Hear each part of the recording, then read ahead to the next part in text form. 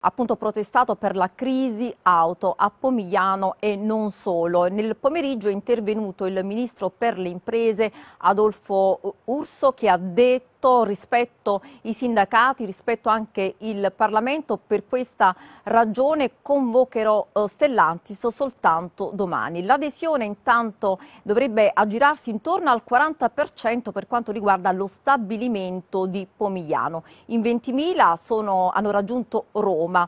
A Napoli c'è stato un CT di UGL che però non ha aderito alla manifestazione romana. Vediamo perché nel servizio di Emanuela Birra. Gli operai Stellantis e i sindacati chiedono aiuto e scendono in piazza questa mattina perché il settore auto è in forte crisi e il rischio è che molti addetti saranno costretti alla cassa integrazione. I sindacati FISMI, QGL e lavoratori sono fortemente preoccupati dallo stop parziale annunciato e manifestano sotto una pioggia incessante. In questo momento noi stiamo manifestando in tutte le città italiane perché il settore dell'automotive è in profondo rosso. Italiano, i plant italiani praticamente non stanno stanno lavorando. Un dato da considerare che al 30 settembre il consuntivo delle auto prodotte in tutti i plant italiani è di circa 270.000.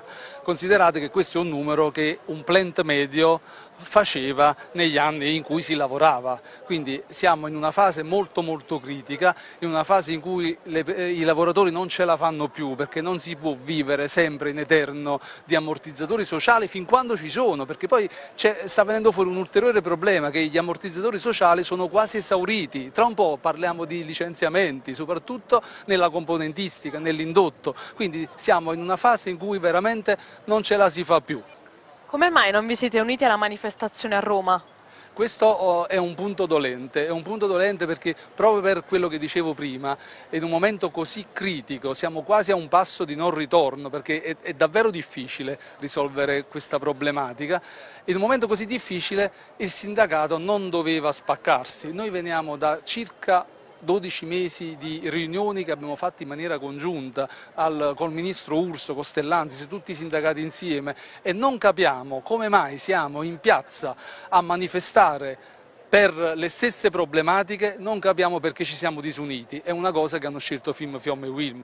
Altri giorni di stop alla produzione sono infatti annunciati per novembre, addirittura nove nella fabbrica di Pomigliano d'Arco. Bisogna portare le istanze a Stellantis eh, al CEO che, in quale sta spostando tutte queste produzioni delocalizzando un po' tutto. Siamo qui a manifestare eh, affinché comunque l'azienda investi soprattutto in Italia e le parole di Tavares preoccupano tanto. E tornano a protestare nonostante il maltempo anche le mamme di via Alessandro Volta dove il primo ottobre eh,